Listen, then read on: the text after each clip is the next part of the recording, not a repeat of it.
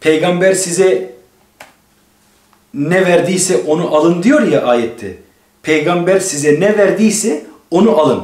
Bu hadisçiler diyor ki işte bu ne verdiyse onu alın. Yani bu sünnetin içerisinde ne varsa onu alın. Cımbızla ayetin içerisindekini almışlar. Bu arada da o işte konu başlığındaki konuyu da anlatmış olacağız. Yine bu ayet. Kontekstinden çıkartıyor. Koskocaman ayeti görmüyor. Peygamber ne verdiyse Ha şurada elçi size ne verdiyse onu alın. Bunu cımbızla çıkartıyor oradan. Ayeti şey yapıyor. Bakın diyor arkadaşlar. Peygamber ne verdiyse onu alın diyor ayette diyor.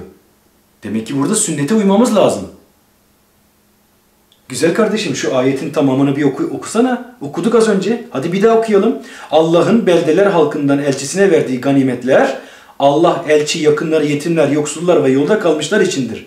Ta ki o mallar içlerinizden yalnız zenginlere servet olmasın. Elçi size ne verdiyse onu alın, size ne yasakladıysa ondan da sakının. Niye bağlamdan kopartıyorsunuz bu ayeti? Peygamberin bulunduğu yerde savaştan sonra veya gelen bir hediye, peygamber var mecliste, sahabeler var, onun arkadaşları var. Bir ganimet geliyor. Bu, bu ganimet nasıl e, paylaştırılacak? Allah diyor ki elçi yapacak bunu. Ona itaat edeceksiniz. Bu bir din değil. İşte şu altınları sen al. Ebu Bekir şu altınları sen al. Ya Osman şu altınları sen al. Bu, bu, bu din değil. Bu dünyevi bir e, olay.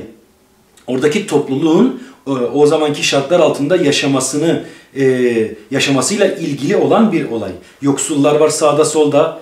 Peygamber kime ihtiyaç varsa kendi basiretiyle beraber görüp veriyor o şeyi. İtaat edin diyor. Kendi kafanıza göre saldırmayın o mallara, ganimetlere. Tabii ki burada bir e, bir baş lazım.